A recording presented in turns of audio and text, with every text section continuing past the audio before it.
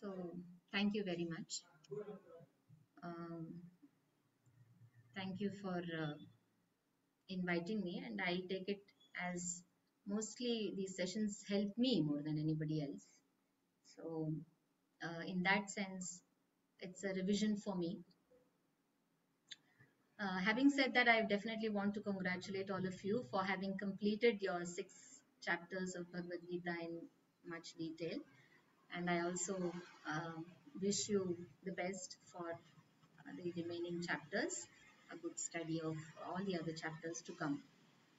Uh, so I have been asked to revise the first six chapters, and uh, the way I have planned is I have a small PPT just to support me more than anything else, um, where we will uh, have one slide which will um, have some pictures and where it's kind of um, you know making you involve into the uh, uh, understanding of the chapter. So you will try and um, look at the pictures and see whether you whether you can identify some of the concepts that you have already uh, studied. Then there will be a, chap a slide which will uh, list the important topics of uh, the chapter. And then for each chapter let's look at one um, salient feature, one very important concept that's been discussed in that chapter. Yes, every chapter has one, many, many important points, but one highlight. So we'll try and discuss that one point. So this is the way I have planned. Let's see how it goes because there are six chapters. Second chapter is so long. So let's see how it goes. I'll try my best. But uh, if there are any questions or any comments in between, please feel free. You can also keep your questions towards the end. I'm okay with that also. So let me start uh, sharing my screen. But if, if anybody had something to say right now, also please, uh, you can do that. Uh, I'll just go to my PPT.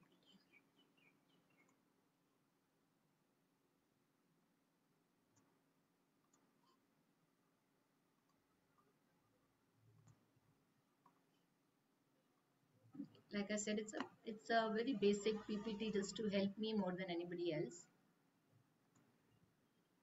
all right. So here we are summary of Bhagavad Gita now let's look at the very first chapter. Oh, let me let me pray.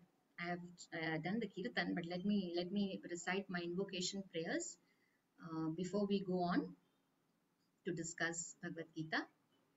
Om Ajnanatimirandasya ज्ञानाञ्जनशलाकया चक्षुरुन्मिलितं येन तस्मै श्रीगुरवे नमः। श्रीचैतन्यमनोभीष्टं स्थापितं येन भूतले। स्वयं रूपः कदा मह्यं ददाति स्वपदान्तिकं वन्देऽहं श्रीगुरो श्रीयुतपदकमलं, श्रीगुरुं वैष्णवांश्च। श्रीरूपं साग्रजातं सहगणरघुनाथान्वितं तं सजीवं। साद्वैतं सावधूतं परिजनसहितं कृष्णचैतन्यदेवं।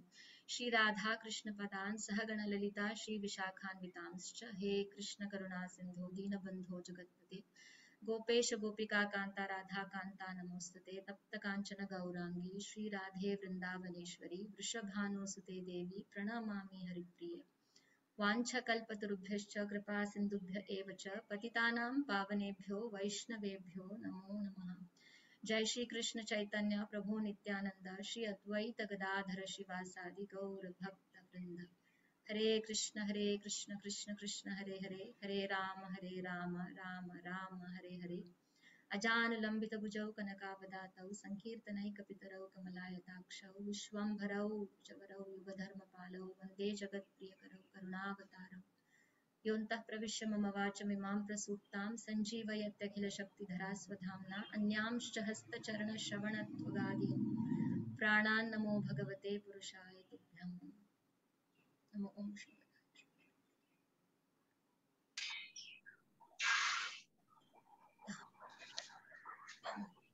Uh, Matas, looks like the audio is very low. Is that uh, for everybody or? No, I am able to, I am able to hear her clearly, but I just want to check with others. It's audible, but uh, not as audible as others. Maybe yeah. I should, I should uh speak a Little- little louder or something. Little closer uh, towards mic. will go. Sure, sure. If you have headphone, then you can hear that. Okay, now maybe uh, it's okay. It's better, yes. Okay. Yeah, it's clear. Yeah. All right. Okay, so looking at this particular slide, which is the very first chapter, can we identify any three things that we can see on this slide? Any three things, please note. And uh, you may unmute yourself and uh, tell me what are the three things that you want to uh, point out about the slide. Hanuma is on the flag. Yeah, Arjuna do not want to fight and uh, want to. Okay, one, one, one, one person, one, uh, that will be good so that everybody gets a chance. Okay, Saji, Arjuna I think so. It, it will be better if you call out names. I should call out next. Yeah, that will be better so that everyone gets the opportunity, right? And then everyone participates. Yeah. Because, you know, they're not children. I don't know whether they would like it that way. Oh, no, that's fine because like we go serial wise. That's fine. Nice. All right. Okay. So Shanmukha Prabhu, you, you were saying something. I, I, I'm not yet started.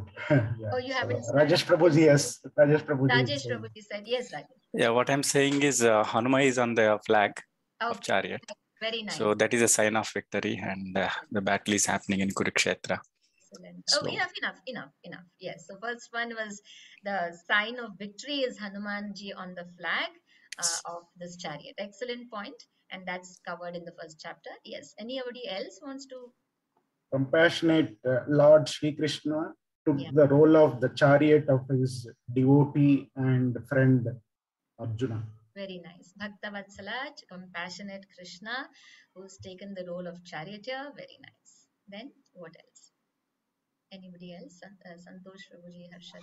Yeah, uh, uh, Arjuna do not want to kill his family persons and uh, he is not willing to fight and surrendering his vow. Perfect, perfect. Arjuna doesn't want to fight at all on this battlefield. Um, now, yeah, so we have come, we have finished the three points, but uh, of course, um, one of the points is also that um, Krishna is Bhaktavatsala. Krishna is also uh, instructing something to Arjuna here, or Arjuna is not willing to fight. But we have the first chapter describing the scene of the battlefield, isn't it? That's a big chunk of the chapter describes how the battlefield is arranged.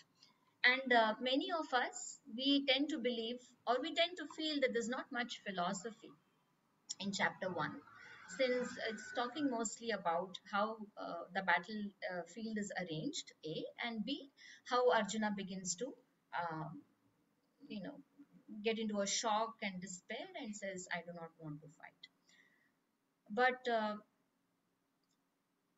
there is more to the chapter than uh, just what we see in terms of uh, these three points that you all have mentioned yes preparing for the war signs of victory and arjuna's doubts. These are the main contents of this particular chapter. But there is a very important salient feature like i mentioned every chapter will have one highlight. And that is uh, this. How to approach a guru is much mentioned in the first chapter let's try to um, analyze this very quickly so this chapter, of course, begins also with a very philosophical question by uh, Dhritarashtra. Not obviously philosophical because he just says, Dharmakshetre Kurukshetre Samaveta Yuyutsavaha Mamakaha Pandavaschaiva Kimakurvata Sanjaya. He just saying that those uh, uh, who are desirous of fighting, who my sons and the sons of Pandu, what did they do after coming to the battlefield of Kurukshetra? So it feels like almost asking a question. Uh, all those people who were so hungry and went to the restaurant, what did they do? Right? Obviously, they eat. So ones who are desirous of fighting, why did they go to the battlefield? What did they do?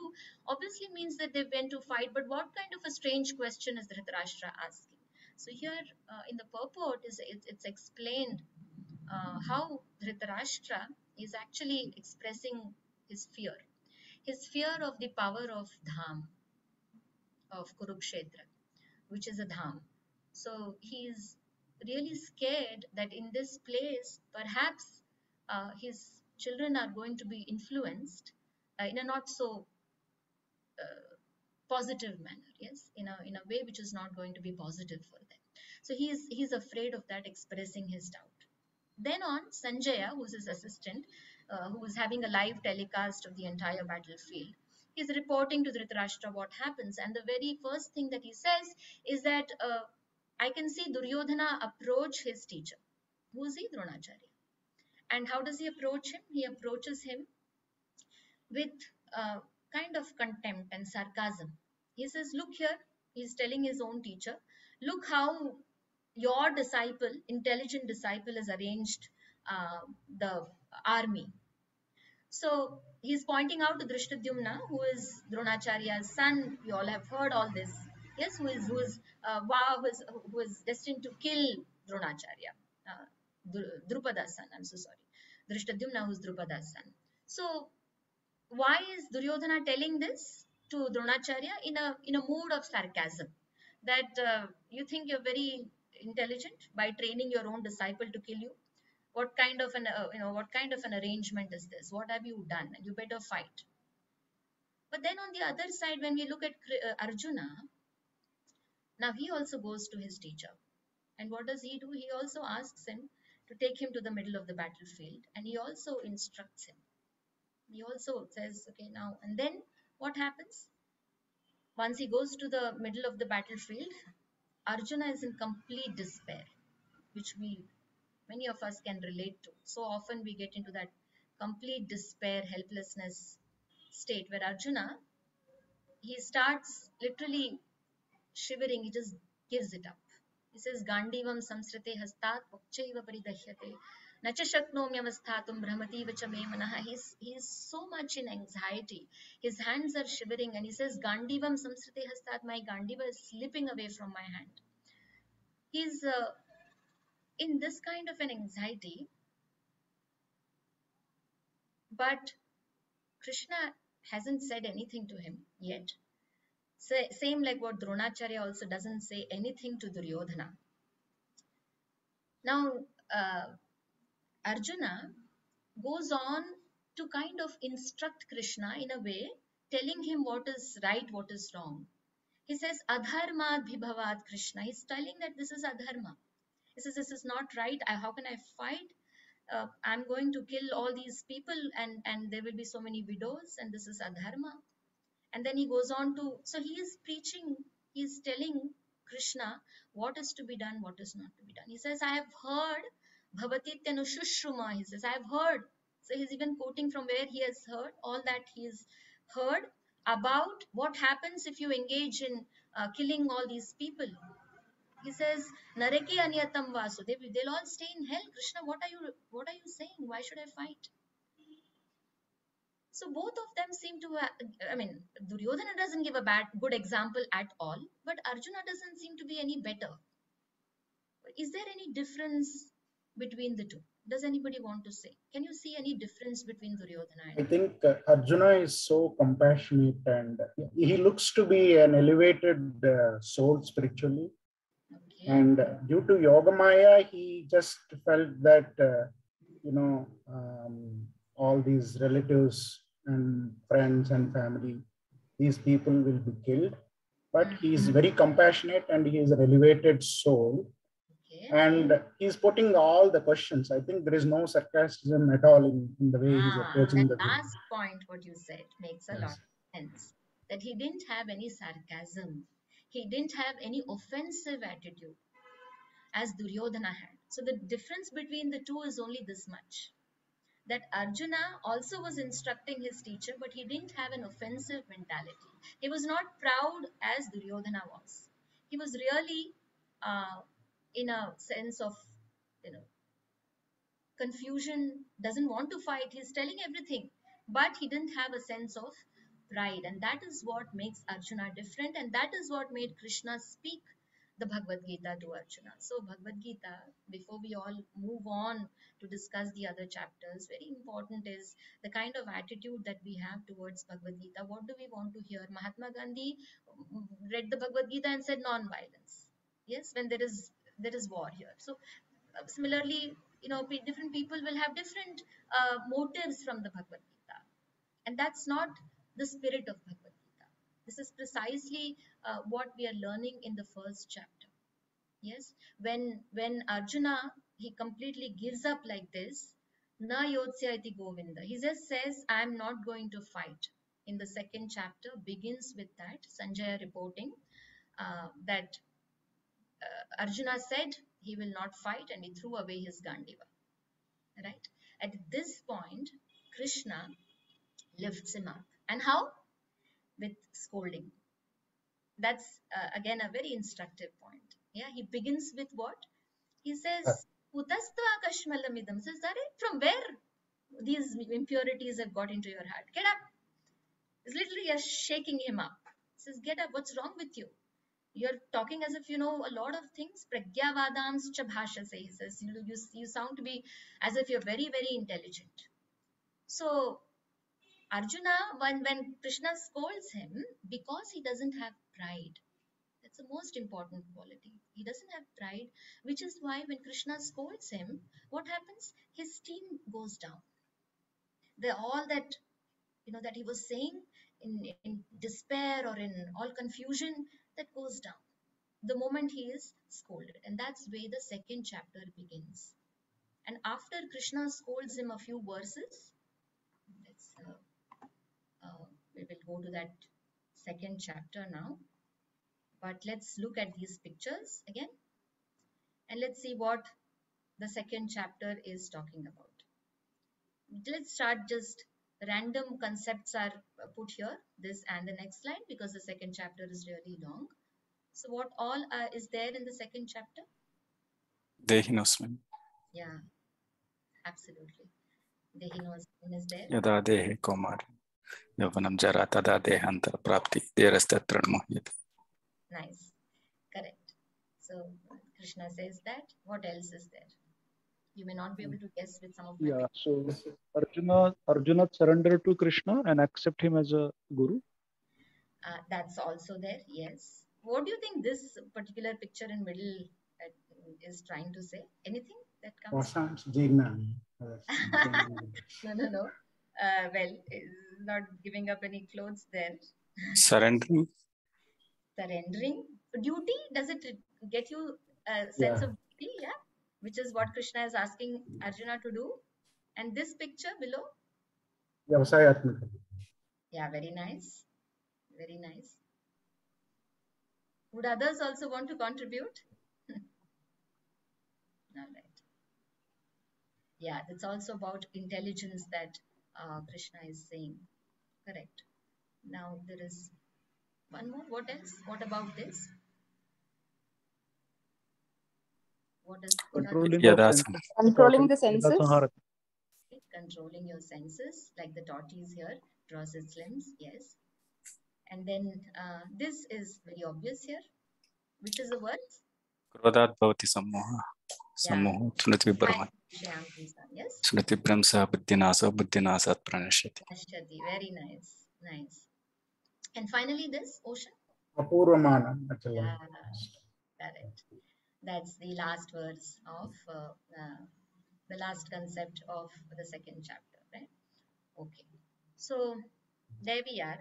Uh, these are the different different concepts that are explained here. So let's go back to where we were. Why krishna starts when Krishna scolded Arjuna.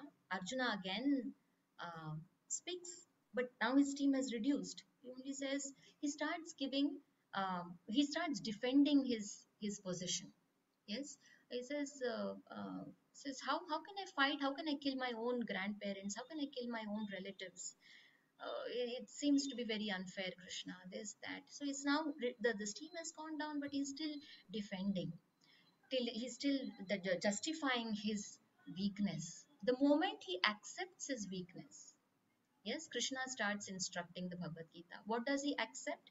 He says, Karpanya dosho swabhava. Yes, all of you. He accepts his weakness. And he says, Now I'm Shishyasteham Shadi Mam Tvam Prapannam. Where he says, Now accept me as your student, Shishya. Um, but the what he says, he still is not ready to fight. He says, still he says, Na yotsya, but I'm not going to fight. I'm I'm your disciple, all right, but I'm not ready to fight. Again, an important uh, idea for us is that uh, you know we, we we surrender to Guru to Krishna maybe, but our surrender is not complete. Yes, we still have a lot of reservations. We still keep holding on to that rope. Yeah, scared that what happens if I leave that rope?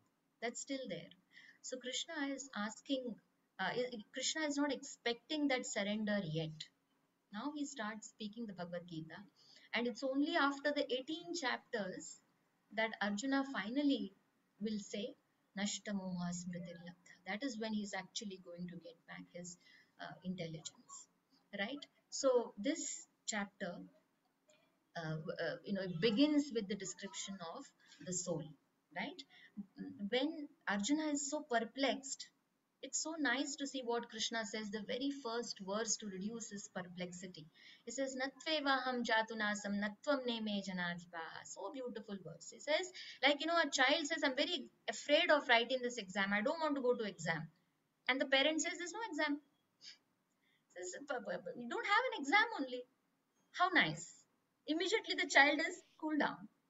Right? So Arjuna, when he's saying, I don't want to fight, I don't want to fight, I don't want to kill, he says, You're not killing. They're not going to die at all. Immediately he responds by saying, But they're all going to stay forever. They've always lived. They are living, everybody here, and they will continue to live. So this verse is a very nice beginning to for Arjuna to actually open up his ears and begin to hear the Bhagavad Gita. Now Krishna is uh, uh, is going to talk all about the soul in the next few verses uh, describing its its eternal indestructible nature yes we have heard so many verses here does somebody want to uh, mention one of the verses describing the quality of the soul वासांसि जीर्णानि यदा विहाय नवानि गृह्णाति नरोपराणि तथा शरीराणि विहाय जीर्णानि अन्यानि संयाति नवानि very nice any other verse नैनं चिन्तन्ति शस्त्राणि नैनं दहति पावकः न चैनं क्लादयन्त्यापो न शोष्यसि मार्गः Yeah, this is such a nice verse which is telling how the soul is never in this. Is it cannot be destroyed at all. It cannot be even um, you know cut by any weapons or burnt by fire, made wet, moistened by water, or withered by wind. Nothing happens to the soul. Nainam chindanti shastrani. So in this way, Krishna goes on talking about this Ashcharyavat concept, isn't it? Ashcharyavat. It is so it is so wonderful goes on describing about the soul. This is Ashcharyava, this is so wonderful. It, it nothing happens to the soul, nothing, nothing, uh, it's always eternal. You would not be able to kill it. Nobody is, no, you can't slay, you can't, you can't be slain yourself, you can't slay anybody else. So all this wonderful concept, Ashcharyavat concept, Krishna goes on describing for a very long time. And in the process, he's also going to distinguish between the body and the soul. Yes, a very clear distinction he is making. He, he tells what is the soul uh, eternal, and immediately he says the body is temporary. So he keeps giving a parallel. He says, Yeah, you're not killing anybody. What you're killing? Immediate verse that comes after uh, the first one is the Aswin, like what you all said. He says, Yeah, you're not killing anybody, but this soul that's there is just passing from one body to the other. Just as it's passing from one stage of life or one stage of the body to other it's going to pass into another body at death after death. So there's nothing for you to worry. He introduces this concept of this distinction.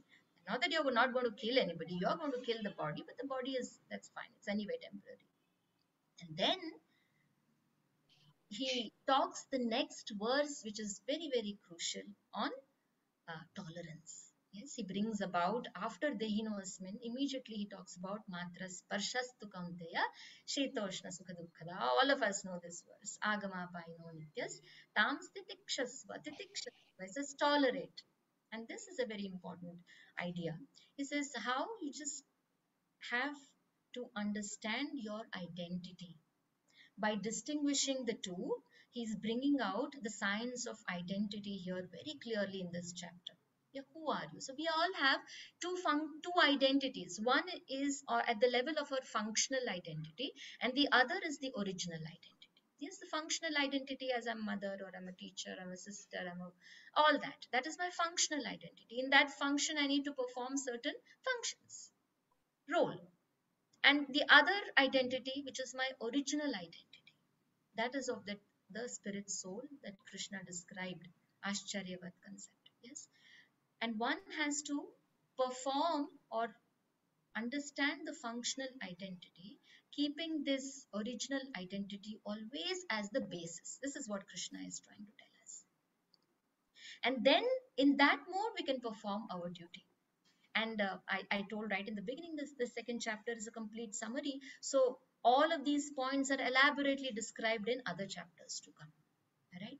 So then, uh, what's happening here? Krishna is telling that perform your duty by rising above the three modes, and, and there's much to be discussed about the three modes uh, in the 14th chapter. But to very simply put it, that don't be influenced by uh, these three modes, the sattva, rajas, and tamas, which will have some kind of a reaction, good or bad. Yeah, don't don't don't do your duty with that uh, mood in that uh, uh, framework. However, perform your duty without expectations. And how is that possible to perform your duty without expectations? Is when you have this one pointed intelligence. This is how Krishna goes on to say that if you have to do this, then you will have to develop something called as a spiritual intelligence. So he's now talking about two kinds of intelligence. He says very clearly, one form of intelligence is which, uh, you know, kind of always supports your mind that says you're the best. Yes, the intelligence say, yeah, I'll give you 108 reasons why you're the best.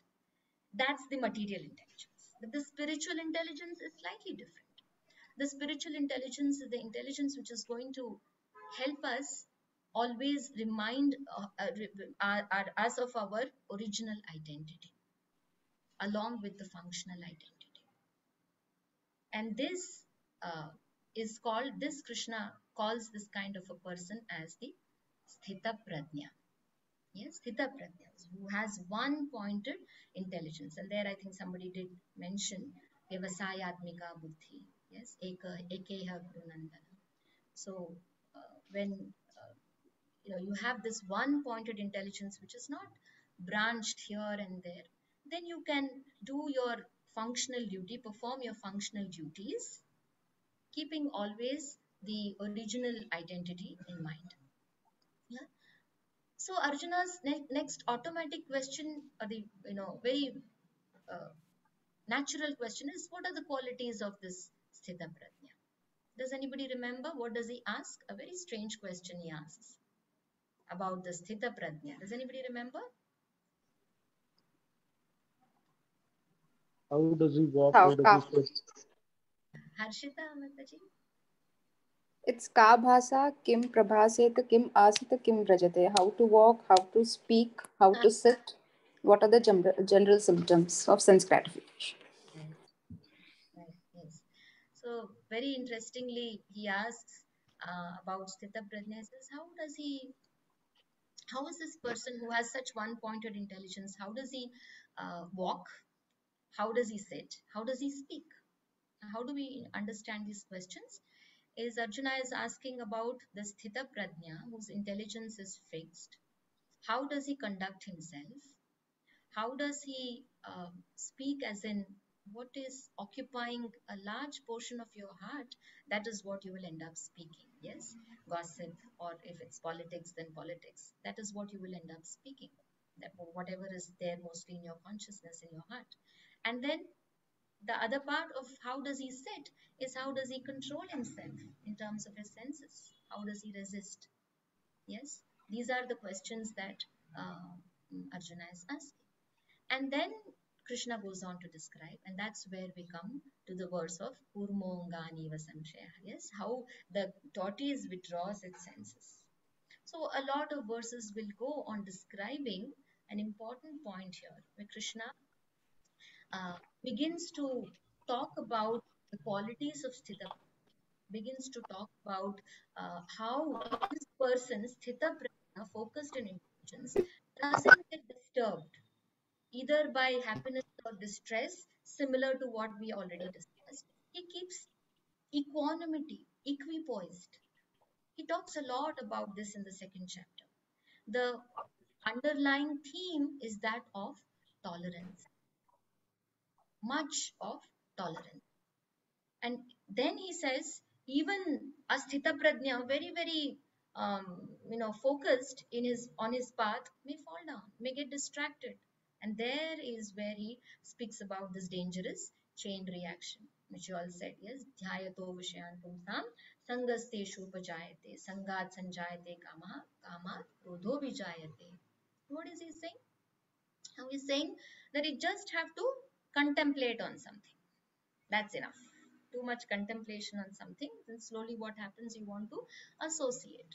And then when that happens, Dehayato Sangha, Sangat Sanjayate. Kama, you get desire. And then Kamat Krodha, when that desire doesn't get satisfied, you get angry. And when uh, you get angry, Krodhat Bhavati Sammoha.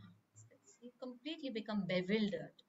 And then Sammohat Smriti Vibhramaha. Yes, you, you forget everything. You forget what the goal of your life is, which means what? You forget your original identity.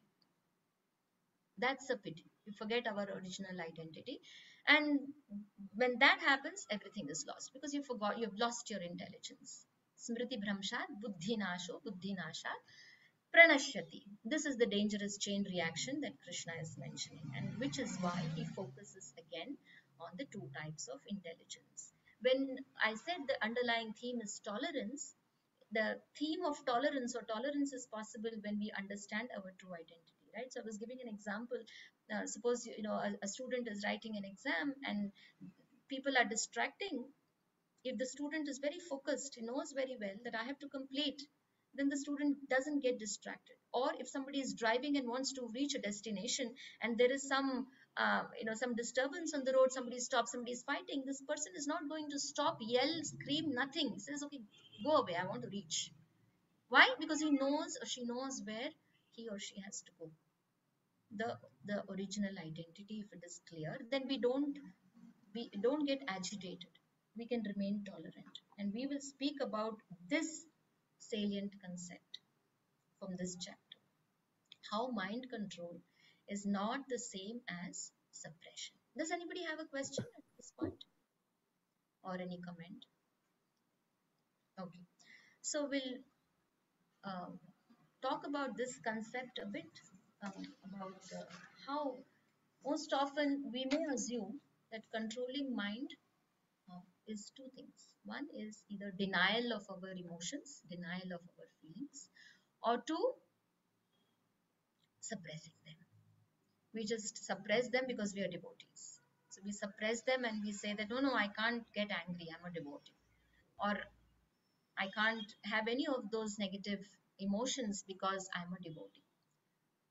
But what happens? Then they stay in the subconscious mind. And they will come after some time, most definitely. And uh, I was just sharing this with someone. I heard that in Ayurveda, it is said that uh, Parkinson's disease is because of anger being controlled. This I heard from some Ayurvedic doctor. I'm not too sure, but makes sense. Yeah, what make what sense does it make? The more you control your emotions in that sense, yes, you deny them, you suppress them, then they may come out in terms of physiological problems as well later. So, how what does tolerance mean? Uh, is uh, is a bit um, it's kind of important and it's going to be discussed a little in brief here. Uh, it said that the moment we become cognizant of our emotions, yes cognizant of our emotions. In the sense we bring our emotions our feelings into the conscious real yes into the in the paradigm of uh, consciousness. That's the first step. And then we begin to digest these emotions through spiritual intelligence. Yeah digesting these emotions through spiritual intelligence is very important. And uh, uh, you know so what exactly it means to digest these emotions through spiritual intelligence is just similar to how you digest uh, you know food through the fire that's there in our stomach right? If our dig- digesting capacity is not good it would it will obviously lead to certain health issues. Similarly here how do we digest our emotions through spiritual intelligence is uh, by actually first step like i said bringing our emotions to the conscious realm acknowledging them accepting them and then sorting our uh, concepts that we have understood, philosophy that we have understood through our spiritual intelligence. So there are there is a lot of confusion there. Yes, we've heard this, we've heard that, so many things. We need to sort them out. We need to we need to see where this emotion is coming from. What exactly? Where can I? How can I actually uh, understand this relation? This this particular emotion from what, what is the source? The moment I begin to observe it and not get absorbed so the two difference yes not not absorbed in it but observe that emotion then i am in a position to take charge of it very difficult but uh, that's the first step and that i think all of us we can uh, actually implement this you day to day it's something which is very very practical. We begin to observe ourselves and not get absorbed and see why this particular emotion is is is is is, is ruling our life right? So that's the first step the first way um, to um, to develop our spiritual intelligence. And the second way is to follow certain rules this is this is when we are actually conditioning our um, life or our mind to certain set or certain um, you know certain routine. What happens with developing spiritual intelligence? So when there is something which we're not supposed to do but we still do the that conditioning that is there it will help us uh, to to kind of check that. And that way we will tolerate yes. So tolerance an important theme of this particular chapter is through spiritual intelligence. And this is uh, uh, this is how krishna is uh, telling that when this happens then you become like an ocean. Yeah where uh, unlimited desires even if they come in you remain calm. Because now your spiritual intelligence has developed. Right? Anybody has any comments to make or some questions to ask this point okay so mataji that um, so mostly uh, i think it's uh, we understand, you just mentioned, uh, we have to first understand the reason for all our emotions. And then the verse 2.66 is more relevant in that uh, context, uh, how to control. And rather than suppressing, um, focusing our mind, intelligence, everything on Lord and engaging ourselves in the devotional service. So verse 2.6 is uh, more relevant. yeah. what you have explained. right yeah basically the uh, highlight is uh, you know tolerance through uh, sorting out our emotions on the basis of scriptures yes? That is why it is said shastra chakshu isn't it? We develop that uh, that idea to look at things from the perspective of the scriptures and not on the perspective of our emotions alone yes? Because our emotions are always ruling us in one way or the other. But if we are going to you know hoping to rise above then then we will have to look from the perspective of the scriptures. That is the first step. And the second step is to follow certain practices on a very regular basis that will also help us um, uh, tolerate. Yeah and then we are not suppressing them we are actually digesting them. So it's not it's not uh, true we, we cannot deny those emotions. It's not right to do that. We'll have to accept acknowledge it but uh, we will have to get over them. Right? And not pull ourselves out in a in a way we injure ourselves right? So those emotions are supposed to be digested. So now we come to the third chapter. Let's see if you can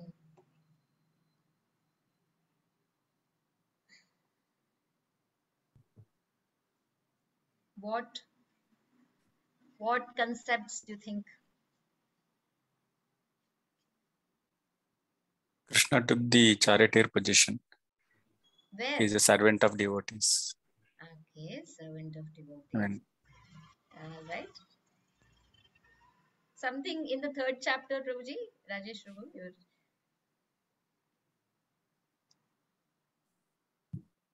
what what does this picture probably the the one where he's washing sudama's feet?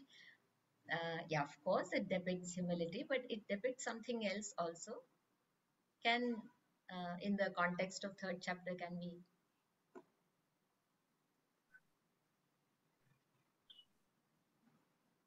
There are others, Ramya and Ishwar, Arpita, Deepesh.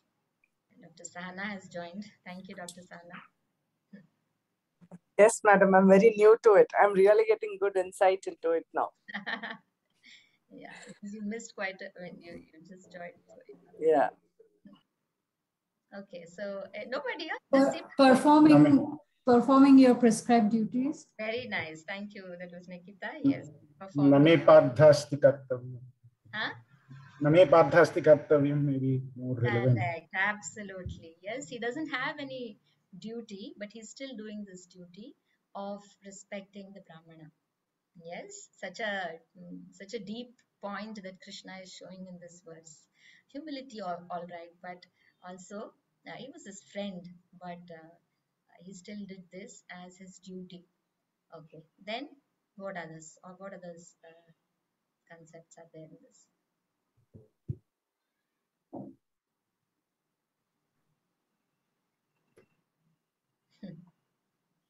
no this elephant and this is, is kind of mm, and there are there is a hint also here three letters of the word is coming out there servant. okay yeah close to that you're not you're right Taking shelter of Krishna. Service.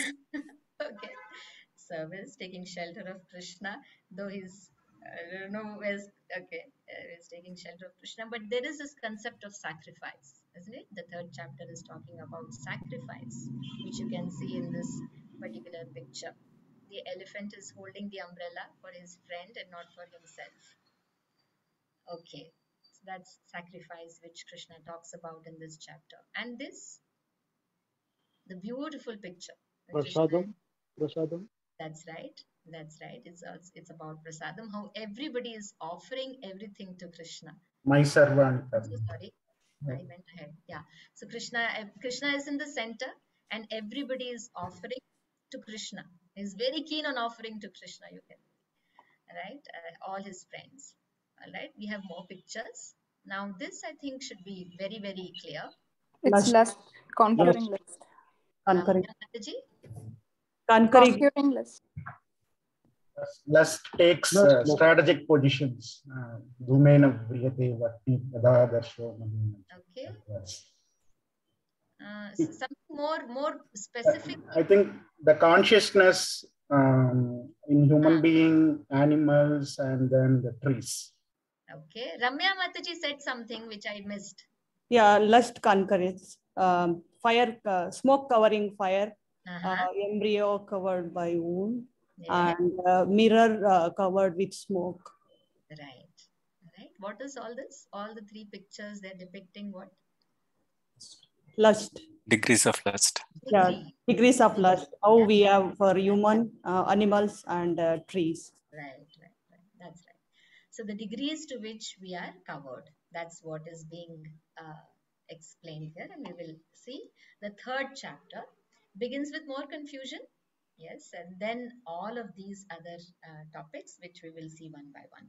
So Arjuna doesn't seem to be satisfied. Yes, and the first verse he says, "You're talking about intelligence, and you're talking, asking me to fight."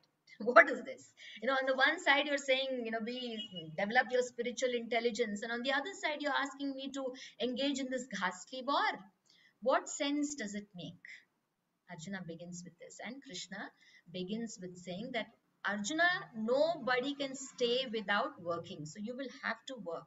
But in what mood will you work? So it is in this chapter that krishna is now beginning to establish his position. Right? Till now it was more of um, um, an analytical study. Yeah the soul body this that tolerance everything he's talking about emotions this. but now he's going to establish his position slowly. He says yeah you have to work but how will you work work as a sacrifice correct Mhm. यज्ञार्थात् कर्मणो अन्यत्र he says right लोकोऽयं कर्मबन्धनः तदर्थं कर्म कौन्तेय mukta samachara so very clear very nicely krishna is saying work but work as a sacrifice for me you don't have to renounce your work but what you have to renounce renounce you develop the spirit of renunciation in general. Yes, renounce the ego that you're investing in a work, that I am doing it. Renounce that. He says, but don't renounce work. You cannot renounce work. See, I'm also doing my work. Krishna is saying, I'm also doing my work. So he says, You work. He says, If you don't uh, work with this spirit of sacrifice, then Arjuna, you will incur sin.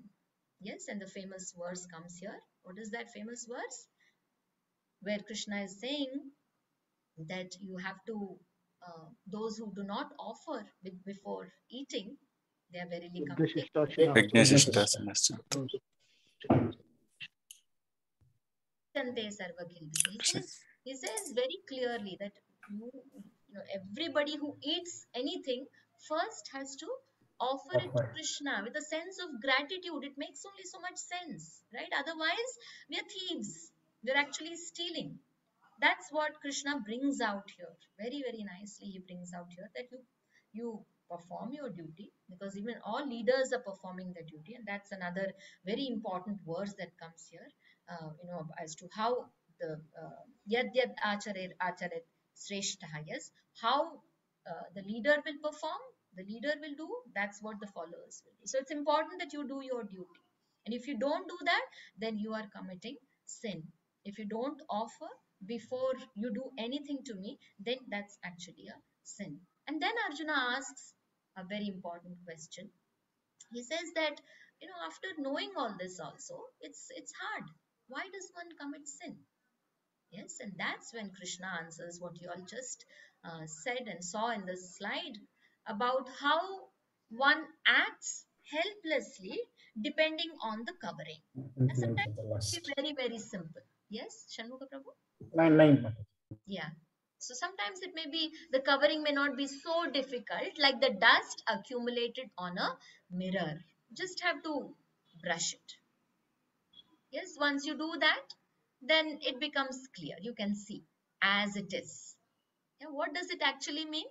To be covered by uh, uh, whatever lust or whatever, you know, by, it means that we can't see things as they are. So that is the first uh, level, which is not so difficult. But what is very dif- more difficult is the smoke and the fire. You can't really see the fire if the smoke is too much, right? But the worst case is that of the embryo which is in the womb, is helpless, totally helpless. So sometimes we become totally helpless because of that covering is so thick, is so uh, defining that we can't get out of it. Even if we want to do something good, I've heard of so many people, but if I want to get up, I want to do, but I can't do. I want to do this, I want to chant, I want to read, but it doesn't happen. And we ourselves experience it. Why take anybody else's example? Yes, we keep struggling with these three faces, three kinds of covering. Not that somebody is, uh, you know, stamped like this, but we are all suffering these different layers of covering at every point in time. Sometimes it is so much, sometimes it is so much. Yeah, the dust, sometimes it's uh, easy to wash it off. One phone call from a devotee helps. Yes, when when Prabhuji calls for the morning japa program and we all say, oh, yeah, yeah, yeah, we have to get up. So that's easy. Sometimes it is so so dense. The covering is uh, so dense that despite uh, 10 phone calls, it doesn't really work. Yes, whatever you keep sending messages and it doesn't work. That's what it is. But what is the salient uh, concept in this chapter? And I hope I'm not, oh, I have really to speed up now. So the salient uh, top concept from this chapter, Arjuna Krishna is saying that I do my duty, you also do your duty. Yes, he's saying you also do it. How? Without any expectations. I'm doing my duty, you know, you also do your duty without any expectations. It's exactly like the French Revolution Queen, you know. I don't know how many of you all know. I often remember when when I read this, Marie Antoinette, and what she said when when uh, the French Revolution happened because all the peasants they came to the queen and they said we don't have anything to eat. There's no bread. So what did the queen say? Then eat cake. If there is no bread, eat cake. She said. Yes, she was so haughty, arrogant. Is Krishna saying like that? No. Is Krishna saying that, you know, I'm doing my duty, you also do? Krishna has nothing to achieve. Yes. So he can do anything without uh, expecting anything. But can we do that? How can we do that? Work without any expectation. That is a very difficult concept, and many a times, uh, you know, this verse in ch- second chapter itself, Krishna is saying, "Karmanyavadhikaraste." Yes, ma phaleshu kadachana. He says this, and there is a focus of that in the third chapter. How does one work without any expectation? So, uh, for this, there's a very uh, interesting understanding of how to work from or uh, with the perspective of abundance mentality of abundance so there is there are two those who are in the management uh, field they know this pretty well. Uh, the abundance mentality and the scarcity mentality. I think this is given by uh, one of the management people i don't remember covey or somebody robert covey or somebody. And he says something like this that you can work efficiently when you work from the abundance mentality framework. So let's see how we exactly apply this um, in the Bhagavad Gita. It is so beautiful when you can how to work without expectations. How does one uh, achieve this abundance mentality? What does it mean? Stephen Covey, that is that is the person. I've, I've just written that down. So what happens when we work with the abundance mentality is we are in a situation to give we are in a situation to contribute when we work from the scarcity mentality then what are we doing we are trying to get because we are scarce because we want to fill up something so with that mentality we can never work without expectations but when we have an abundance mentality, what does it mean? We want to give, so we don't have any expectations. Right? And this abundance mentality in spiritual life doesn't mean abundance in terms of our material possessions, right?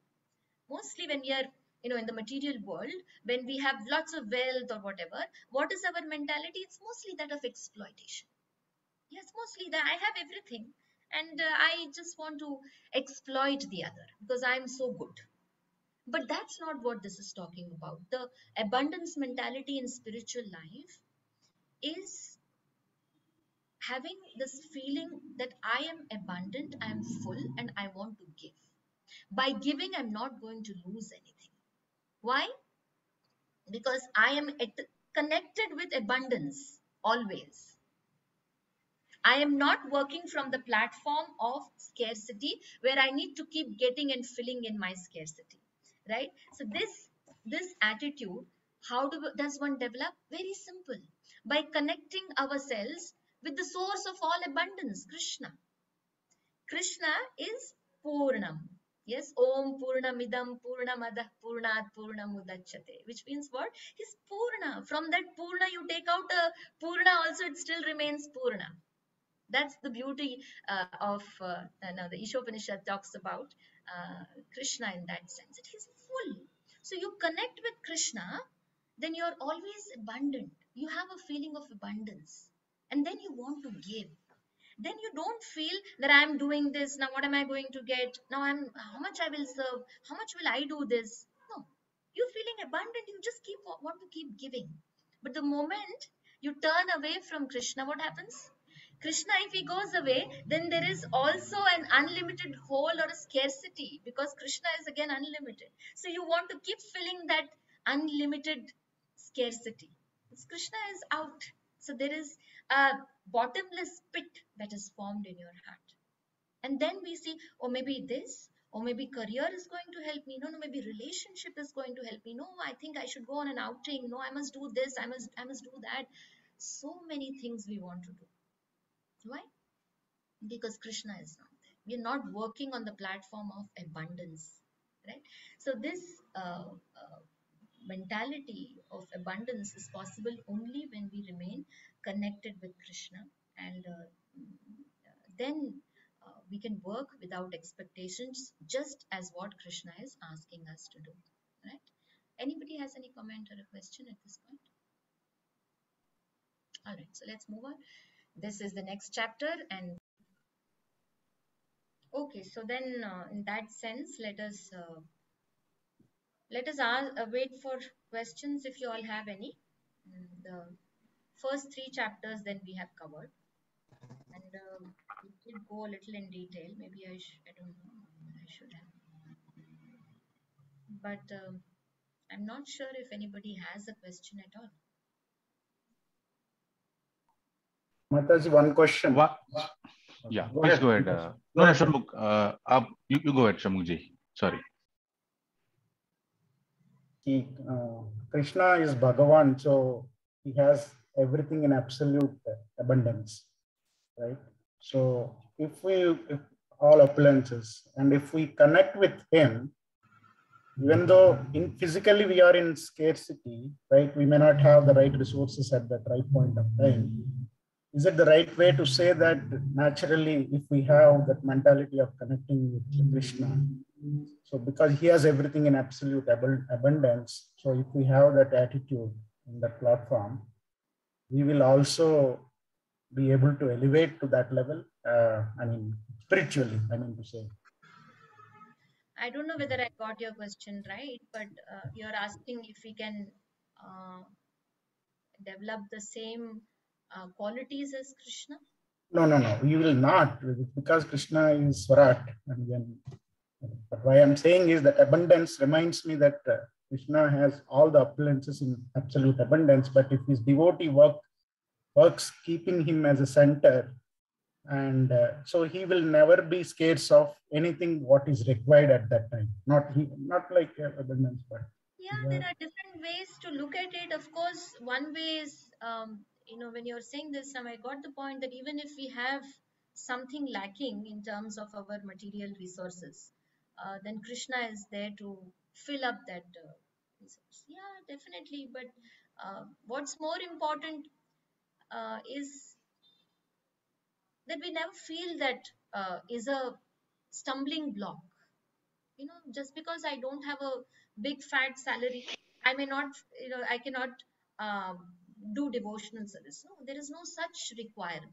correct? And that's what krishna qualifies by saying you know patram pushpam phalam toyam. Yes we have, you've heard of this verse very beautiful in the bhagavad gita that will come later in some of the chapters that uh, you can anyways uh, perform your devotional service. You can always remain enthusiastic. And that uh, i think uh, is more important than anything else. You know, no other, no other uh, inhibition or lack of resources will ever make you uh, disheartened to perform devotional service. Yeah, there, yeah. The the only thing that will act as a stumbling block will be turning away from Krishna, and that is when you are uh, you're initiating the process of that whole, creating that whole. Yes, so you will obviously then feel that no, maybe I need this, maybe I need that. I don't know if I uh, if that is what you asked. Yeah, that is my question. Thank you so much.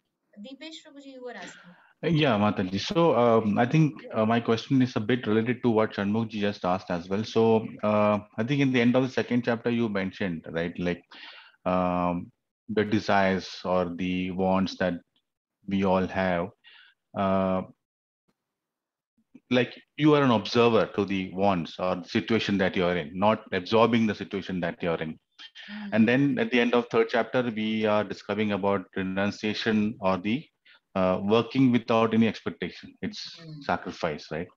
Now, I'm sure these two are connected at the end of because when you observe from outside what your wants are, and then because more often than not, we we work for to fulfill a want, right? So just trying to put, if you can just put some perspective to both these points, perhaps that will be helpful because you mentioned that use the intelligence of scriptures to understand how to solve uh, a situation that you are in by observing it, not getting into absorb, like like someone being in anxiety, someone being in depression or tension, because they're not absor- observing what they are in, but they are in that situation because they're trying to fulfill a want, and that's what they're working for. So a bit confused on, on those two lines. No, correct. You're right. That uh, uh, on the one hand, we observe, we have certain, uh, practically, we have certain wants, certain needs to be met. And how does one resolve that? Um, just by connecting with Krishna. Yes, will that be resolved? Hmm. Um, So very important to understand that. Um, uh, let me tell you a story, and also let me tell you another story after this.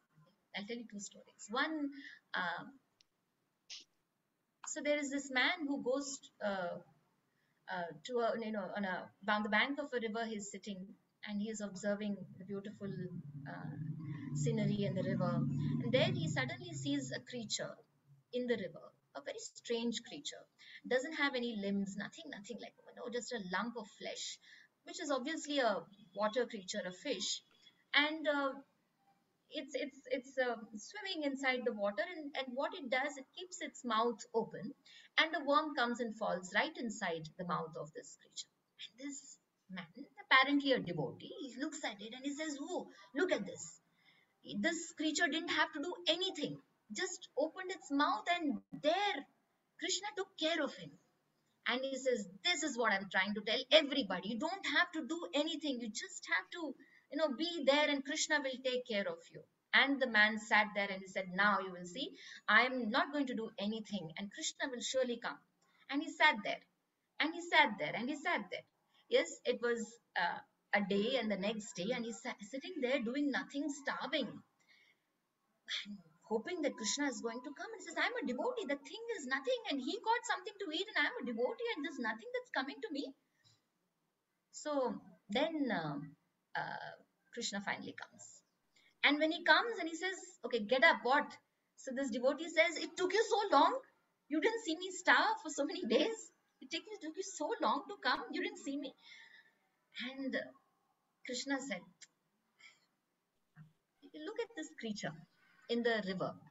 All it had was a mouth and it kept it its mouth open. You you have hands, legs, intelligence, everything. Why don't you use it? Right. So very important idea to understand is Krishna is talking about duty. He's not saying not to perform your duty. Right? So if we have a certain want, we need to perform our duty properly and satisfy those wants, but in connection with Krishna or keeping Krishna in the center, all the time giving credit to him and obviously acknowledging that it's because of him that I have this ability. Correct?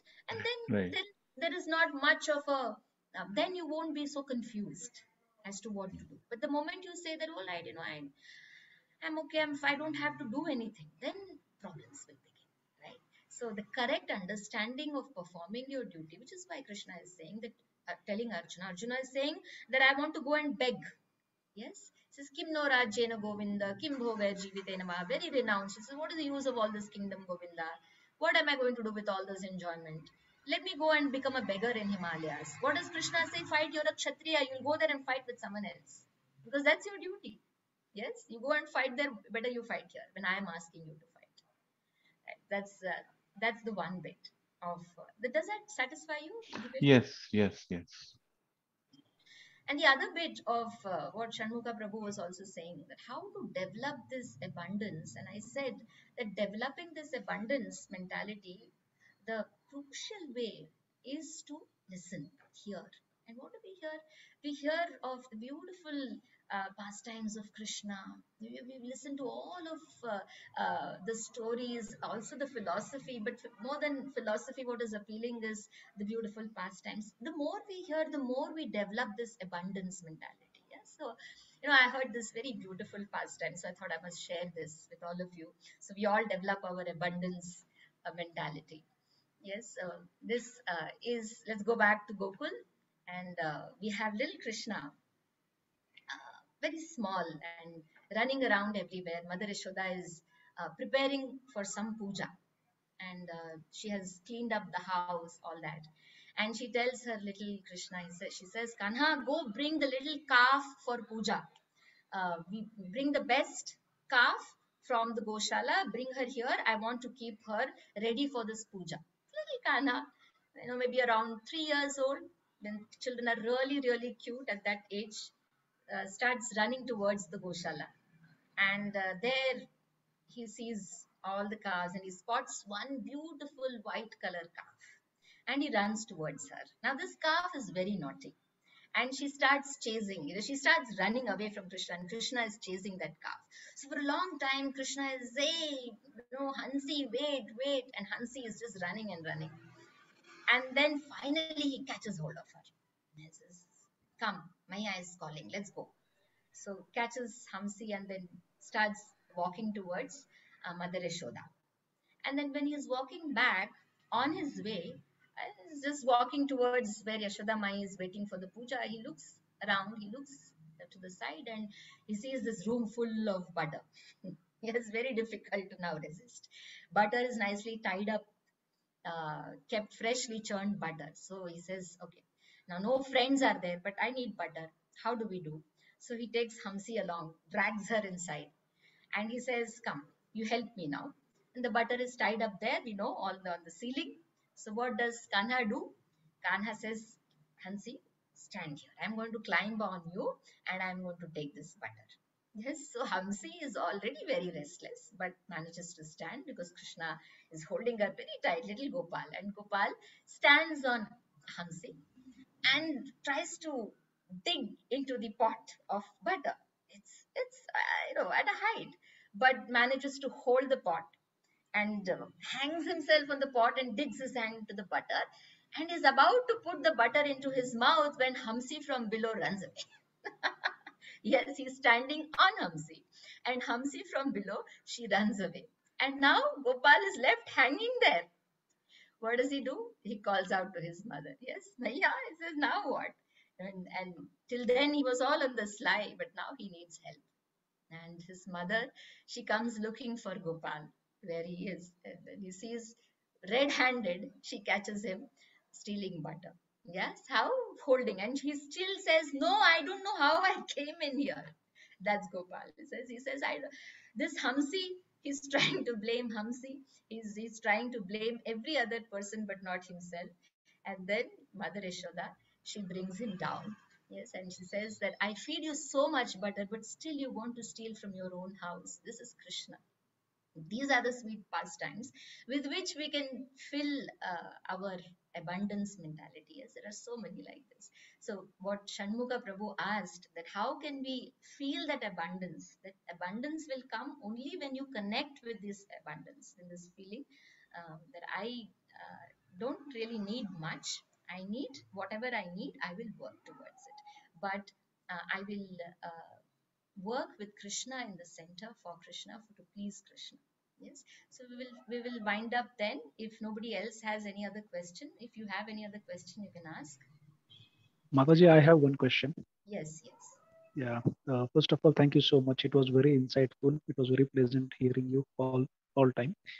Uh, so, any practical tips, Mataji, on uh, digesting emotions uh, against uh, absorbing emotions?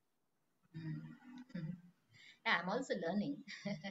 so it's a continuous process. It's really a continuous process, and uh, I think Krishna gives a very practical tip also in the in another context, but which is very very relevant. Abhyasena tu and vairagyena. Yes, that is by practicing on a very regular basis and remaining detached. How in the sense of an observer. So if you don't have to get absorbed in something, then we have to train our mind to become an observer. This is so important, right? We observe our own feelings. We observe how um, situations are, not judging anything, but we are observing, completely coming out and observing our own mind. And that is possible when we are associating with the devotees. Yes, we keep hearing about this. We are reminded uh, all the time of uh, that is why we do this analytical study yeah what is analytical study that you know we are not this body you know, we have this mind intelligence false ego so we look at the gross body subtle body senses all this why do we need only for this. So we can actually become neutral. Yeah. Otherwise uh, it's it may be hard for us to uh, practice uh, you know the connecting with krishna through hearing krishna's pastimes. They may become only um, just sentimental involvement. Yeah but when we look at it uh, from the analytical perspective like this uh, then it makes a lot more sense. Then it, it, it makes it possible for us to observe ourselves and to observe things around us, not to get involved. So I heard also this example of how um, you know when watches when one watches a movie, yeah, you can also get completely involved in it and uh, cry your heart out. Yeah, we can see now. I've heard so many people crying when they see Kashmir files or whatever. What so th- there is a possibility that you get so much involved into that but you don't want to get into that situation right? In the sense that you if, if somebody offers you you can also be a part of this movie in the sense in reality. You don't want to be a part of it. You want to observe that movie from outside. And that's how we have to observe ourselves also. And it's easier said than done definitely. Like i said i'm also practicing. Uh, it's a practice to continuously observe ourselves without getting absorbed and that is only possible there is no magic um, the only possibility is association association with devotees and association with uh, uh, bhagavad gita or Srimad bhagavatam yes harshad Roji? does that thank you Mataji. Hare Krishna.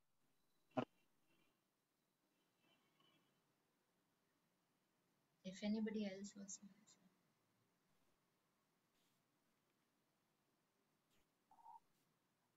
Okay. If not, like we will, I'll coordinate with Mataji um, to see how uh, and when we can have her next to continue with summary and revision of the other three chapters, fourth, fifth, and sixth. And Mataji, it was really insightful, like uh, summarizing these six chapters in one and a half hours is, is really difficult, but what you did for the first three chapters, bringing important points, uh, highlighting, you know, through pictures, you know, what all is covered in the chapter is what, you know, again, a very nice way. Uh, and that, you know, helps us to memorize through pictures, you know, what is there in the chapter. That's very helpful. So I would like to thank you very much and thanks all the participants. Uh, with this, we'd like to uh, stop the recording here.